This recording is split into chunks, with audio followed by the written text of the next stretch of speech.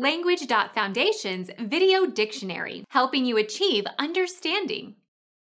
A United States program of economic aid for the reconstruction of Europe, 1948 to 1952, named after George Marshall. European Recovery Program